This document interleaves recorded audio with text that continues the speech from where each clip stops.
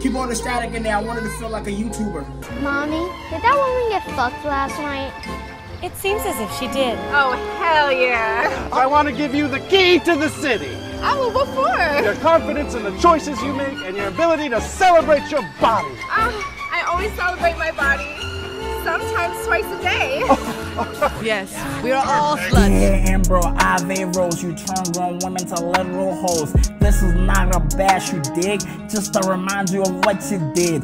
Dear Amber, here's a toast for the easy pussy you brought me close. They threw that ass and thought around, and now they all want to settle down. But the ass can't cook, and their hands are empty, and the goddamn truth is bitches are plenty. We switch them up and keep them friendly, just to fuck them again, that's Fendi. Dear Amber, Ave Rose, are y'all happy with the life y'all chose? Cause me and my niggas got no problems when y'all use no top, just your bottoms.